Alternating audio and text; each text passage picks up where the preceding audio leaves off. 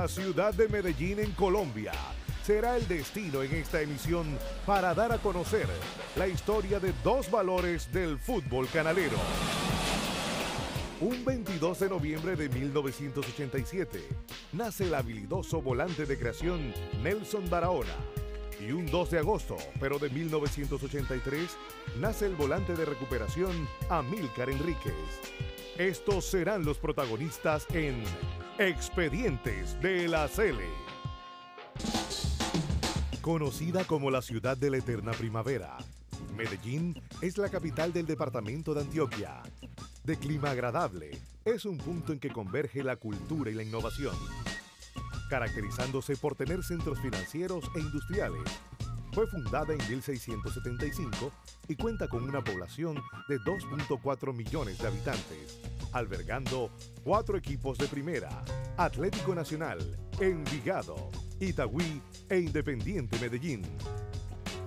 La verdad es que Medellín en cuanto a ordenado, pero es total. O sea, la gente tiene un poco de cultura. No vamos a decir de que tiene total cultura, pero ha aprendido a, ser más culto que en varias ciudades de Colombia. Y en cuanto a lo ordenado de la ciudad, pues es una, cosa de, admirar. Las, administraciones que han habido en Medellín eh, eh, han luchado por, por la ciudad. Medellín es una ciudad deportiva, netamente deportiva. Sea de un equipo, o sea de otro, o, no sea de, de, ninguno, pero, pero le gusta el fútbol, le encanta el fútbol. Bueno, aquí han habido panameños y los hay en este momento buenos, buenos. Y creo que hemos vivido etapas buenas, o sea, alrededor de Panamá y Colombia y Medellín. O sea, aquí han habido unos intercambios buenos entre Panamá y Medellín. De futbolistas panameños han llegado acá muy buenos. Para mí es algo satisfactorio por el tema de que vine a esta ciudad, a una ciudad para mí que me ha acogido bien y, acá con mi familia contento por el tema de la comida y el tema de la, gente que es muy amable. Un tema creo que es algo satisfactorio para mí. No, mi familia, mi mamá, mi, hermano, mis amistades compartir con ellos, pero como digo, uno como profesional tiene que dedicarse a esto, a su trabajo y, esperamos que algún día cuando me retire ya pueda disfrutar de lo que no disfruté en la juventud.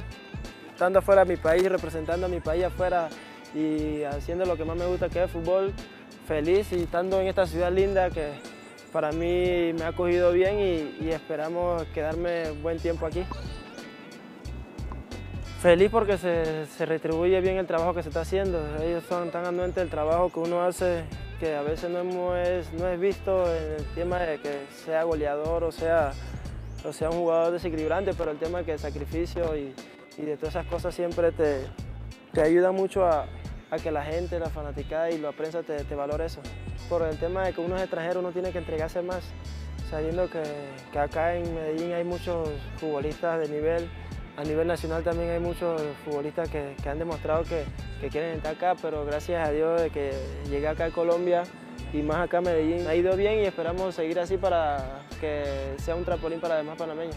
Medellín es una ciudad que si, no estás bien concentrada en lo que vienes a hacer, en, que vienes a ser un deportista, vienes a jugar, vienes a, rendir y, vienes a mentalizado de, buscar un futuro, te va a ir bien, pero si vienes mentalizado a las fiestas, a muchas cosas, creo que te va a ir mal por el tema que es una ciudad muy pesada, una ciudad, se puede decir que un Panamá, una ciudad que hay muchas fiestas, muchas discotecas y, hay que estar tranquilo porque el futbolista panameño le gusta, la, le gusta la fiesta, le gusta eso, pero gracias a Dios todos los futbolistas que estamos afuera nos hemos mentalizado en que, tenemos que, que, primero dar, dejar el nombre en Panamá en alto, segundo buscar el futuro para nuestra familia, que es lo más importante.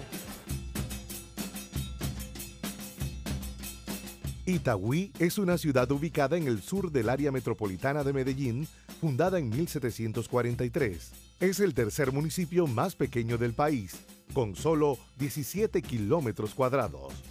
También es el municipio más densamente poblado y es uno de los más industrializados del país.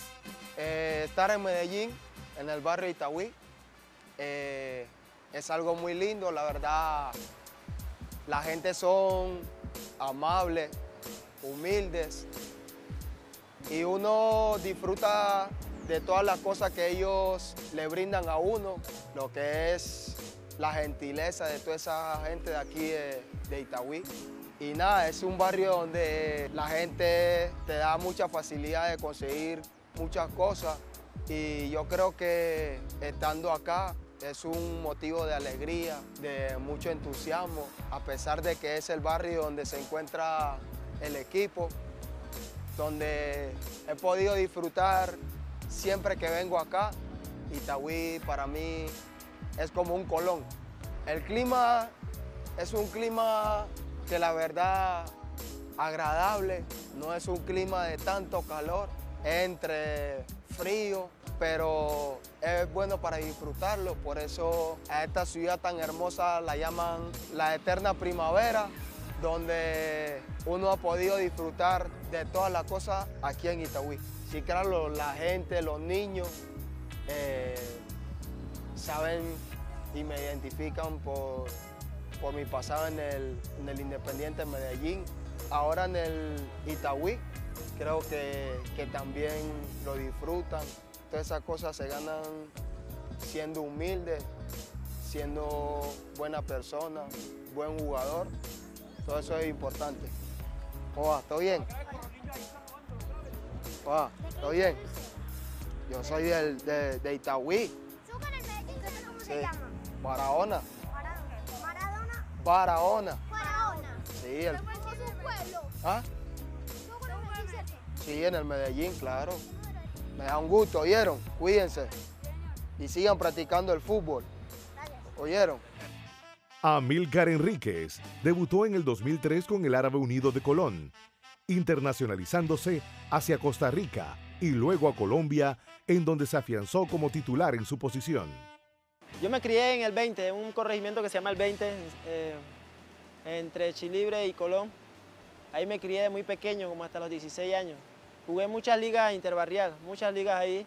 Ahí fue que di mis primeros pasos, jugando ahí con equipos del, con equipos del barrio. De ahí hice un brinco a- hacia Colón, a de mi familia, a de mi abuela. De ahí sí ya participaba en ligas más, más serias, que eran distritoriales, en las sub-20, después fue eh, primera. Me decidí una vez ir al árabe, o sea, por el tema de que, que quise ir a entrenar para ver qué tal, qué tal me iba. Y fui, fue difícil porque en la lista eran 115 jugadores, 120 jugadores, de todas partes de Panamá. El técnico era el colombiano Jairo Silva. Y ahí fui entrenando, no fue fácil, entrenando, conociendo a los compañeros. Me tocó entrenar con Puchito Medina, con, con Inin Salinas, jugadores que uno le tocaba ver. Y ahí fui y gracias a Dios me gané el puesto de entre el equipo y la titular. Es el equipo que me dio todo. Me, me sacó adelante, el equipo que me dio un nombre a nivel nacional. Pero yo sé que, que en lo personal, yo sé que cuando ya me retire voy a jugar ahí y, tratar de salir campeón. En el 2007 había tenido la oportunidad de, de haber salido a Costa Rica, pero fue más como seis meses como de, de paseo. Por el tema que siempre jugaba, pero no cobraba, vivía en una buena casa, pero vivía a pie de río, me la pasaba pescando. Como que ya me resignaba, pues, ya, ya no, no me daba, no tenía la oportunidad, ya, ya tenía 25 años creo, no tenía la- el chance. Le dije que si no, si no progresaba ese año, no, ya me iba a decidir solamente a jugar la liga local y buscar un trabajo. Gracias a Dios, después se me llama a la selección para ir para la Copa Centroamericana. Todo se dio muy rápido. Después se vino la oportunidad de venir acá a Colombia. Llegué a Colombia y, feliz porque llegué a una institución que no conocía a nadie. No conocía a nadie, una institución que había hecho un esfuerzo de traer 40 jugadores. Y al transcurso de los días fui conociendo, eran jugadores de renombre a nivel nacional aquí en Colombia y a nivel internacional. Acá ya uno tiene que vivir del fútbol, uno tiene que saber cuidarse, tiene que tener una buena alimentación los estadios, la hinchada. Es algo impresionante, ya es un, se puede decir un país, de, un país futbolero, un país que el fútbol paraliza todo. Cada ciudad, cada ciudad aquí es, los equipos son muy, son muy ordenados económicamente, estructuralmente, y es algo que en Panamá, yo fuera feliz si en Panamá tuviéramos esa estructura. Nelson Russo Barahona ha tenido un recorrido internacional desde su debut en el 2004 con el Árabe Unido, pasando por Uruguay, Venezuela y varias veces en Colombia. Creo que el árabe para mí fue el que me vio nacer en lo que es la parte futbolística. Creo que el árabe para mí ha sido un trampolín. Ahora yo estando en el fútbol internacional. Es un poco difícil porque sabemos de la provincia todos los problemas que, se relacionan en el tema de la violencia, de las pandillas. Pero cuando uno se traza una meta, uno quiere salir adelante, uno trata de evitar toda esa clase de cosas y, y pensar de que uno tiene familia donde también lo alejan de esa clase de cosas, pero para mí Colón es una cuna de campeones, de buenos jugadores. Mi primer equipo fuera de Panamá eh, fue Fénix de Uruguay, donde hoy milita mi compañero Luis Mejía. Y fue difícil, pero lo asimilé y pude poner todo el empeño y el sacrificio para poder aguantar ese año que pude estar en Uruguay gracias a mi compañero Amilcar que, la verdad le dio ese punto de vista al Atlético Huila. Y, nada, luego voy al Huila y, fue una temporada fantástica para mí porque